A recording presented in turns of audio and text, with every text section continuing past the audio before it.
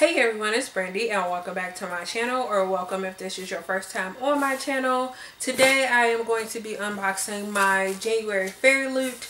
I have already opened this box so I know everything that was in it. I kind of spoiled myself because this box went out later and as soon as people started posting stuff I was like I just want to see what was in it because I already figured out what the book was. But I did put everything back in the box. I think everything is the way I found it. But I still wanted to unbox it since I did unbox every my other two boxes I got this month. I wanted to show it off just in case you guys come to my channels for my unboxings. So all of that talk, let's just get into it.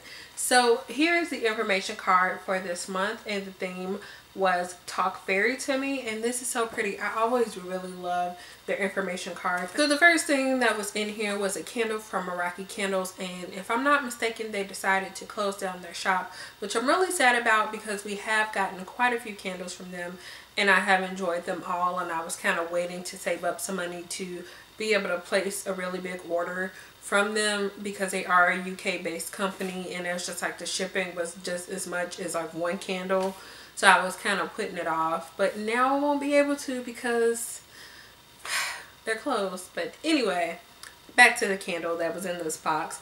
This is themed after Prince Cardan, which is a character from the book that is included in this month's box. And it is a Fairy Loot exclusive and it says the scent is clove, oak wood, moss, leather, black pepper, and pine. And it's just like this white color and there is some glitter in here. So the next thing we have in here are these set of magnetic bookmarks and this is from the company Dreamy & Co. I'm not really sure which side is the front. I don't know if it even really matters.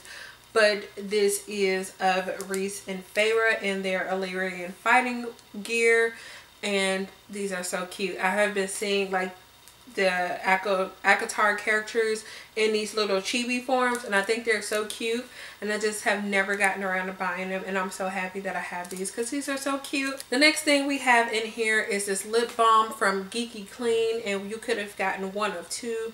I think it was Seelie and Unseelie and I got Unseelie, Unseelie and this is a honey flavored lip balm and I believe I saw somewhere that the Seelie one is an apple flavored. The next thing that was in this box I was really excited about because I always, uh, before I subscribed to this box, I had seen quite a few people getting these pillowcases in their boxes before and that was one of the big reasons why I decided to subscribe to Fairy Loot because I was like I want to get that in a box and I was so happy with it. I have gotten one other one before but I believe I'm I, yeah this one is definitely my favorite because it is a quote from the ACOTAR series and look at this beautiful thing.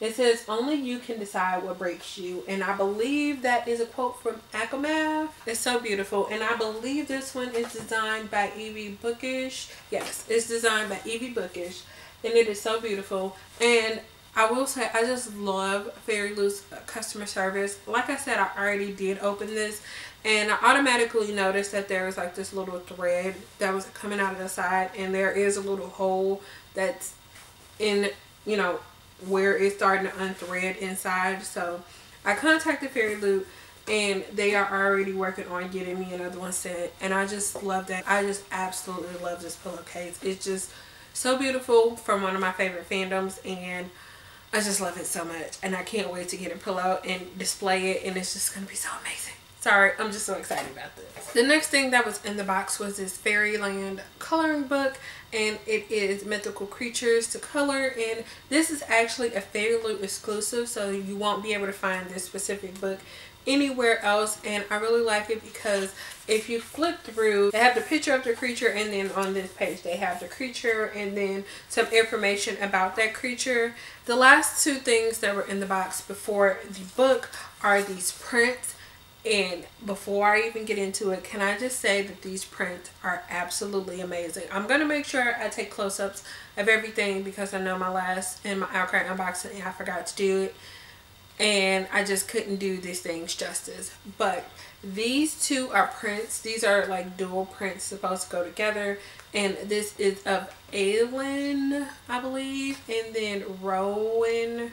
I haven't read the series yet. I plan on reading it this year. But these are characters from the Throne of Glass series as far as I know and these are absolutely beautiful. On the plus side not only are these beautiful but they have reverse sides so if you don't like these two characters you can use the reverse. So on this one it says we all tell the truth as we see it do we not? And that is a quote from cassandra clare. Don't know which book haven't read her series either. And then on the other side of the other one it says do not lose your heart to a fairy prince. It's ne it never ends well. And that's a quote by julie kagawa I absolutely love the colors of this side. So this will probably get displayed first because it's just so pretty. I just, I love it. And I believe this comes from a series that I have been wanting to read. I just haven't picked up. At this side, the artwork was done by Deanna Warwick. I believe is how you say her name. And then the quote sides were done by Stella Bookish Arts. So both of these are absolutely amazing artists. And then moving on to the book, as always, it comes in the little bag, the little FairyLoot bag. So as always, we get the FairyLoot buddy reading card, which I never use. I always feel bad, but I don't use them because I never read them. I feel like when most people read their copies of the books. And then we have the bookmark that goes along with the information card. So we have the theme on the back and this. And I just love this artwork once again. And I'm looking forward to using this bookmark. And before I get into the other little things that came in that bag, the book that was included this month was The Cruel Prince by Holly Black. And this is obviously the UK edition, but this is the cover that most people have seen. I do already have a copy of this book that I got in my OwlCrate box, but they both have different covers so I think I'm going to keep them both because I just I love both covers that I have and I wanted this cover but I didn't want to go out and like you know technically buy it myself even though I did buy it because I bought the box.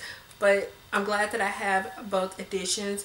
I'm kind of sad though because since it is a UK edition we don't have like the love the pretty um, artwork that comes on the hardcover like it does in the US.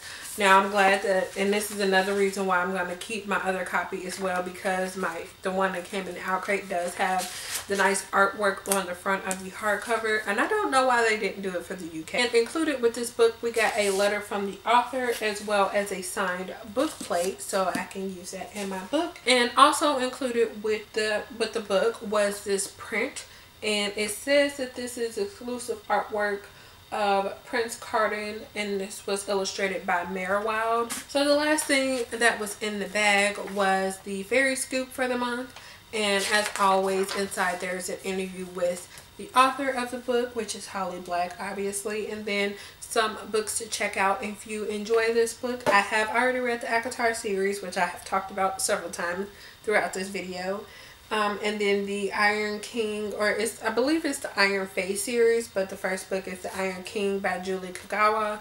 One of the books that I said is definitely on my list, or the series is on my mental TBR list, and I really want to pick that up soon. And then we have Tith or Tithe by Holly Black, which is another, I believe, fairy series by her. I haven't read that one. I've seen it around, but obviously I haven't picked it up. And on the back we have the theme for the February box which is Twisted Tales. That's everything I have for this video. Thank you guys so much for watching and I will see you guys again in the next one. Bye.